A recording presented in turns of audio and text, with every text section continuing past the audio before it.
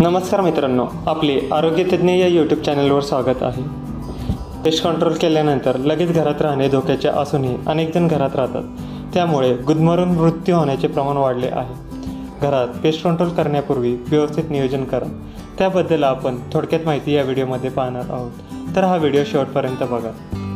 Pest control केल्यानंतर किमान आठ तास घराबाहेर राहा आणि त्यानंतर घरातील फरशी पुसून घ्या. असा सल्ला वैद्यकीय तज्ज्ञांकडून दिला जातो. मात्र अनेक जण या सल्ल्याकडे दुर्लक्ष करतात. हे सर्वेतील निरीक्षणात दिसून आले आहे. घरात ढेकणं झुरळ झाल्यामुळे अनेक जण पेस्ट कंट्रोल करून घेतात. त्यावेळी औषध फवारणी करणाऱ्याकडून अनेकदा काय काळजी घ्यायची ही माहिती दिली जात नाही. त्यामुळे लोक काळजी घेण्याकडे दुर्लक्ष करतात. विशेषतः आजारी असलेल्या व्यक्तींना याचा खूप मोठा फटका बसतो. त्याच पार्श्वभूमीवरती पेस्ट कंट्रोल करून घेण्याबाबत भीती निर्माण झाली आहे. याबाबत फिजिशियन बालरोग तज्ज्ञांनीही काळजी घेण्याचा सल्ला सर्वांना दिला आहे. पेस्ट कंट्रोलमुळे लहान मुलांसह वृद्धांचाही जीव गुदमरण्याची शक्यता नाकारता येत नाही.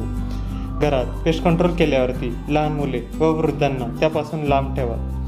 अन्यथा त्यांना श्वसनविकाराचा आजार होण्याची शक्यता आहे. तर पेस्ट कंट्रोल केल्यानंतर काय काळजी घ्यायची? आपण ते पुढे बघूया. पेस्ट कंट्रोल केल्यानंतर काही तासांनंतर खिडक्या दरवाजे उघडे ठेवा व सर्व फॅन चालू करा. घरातील सगळा वास गेल्यानंतरच घरात जा. अन्यथा घरातील कोंडलेल्या विषारी वायूमुळे जीव गुदमरू शकतो. हे सगळे झाल्यानंतर घरातील भांडे डबे व फरशा स्वच्छ धुवून घ्या. तर अशा प्रकारे पेस्ट कंट्रोल केल्यानंतर काळजी घ्या.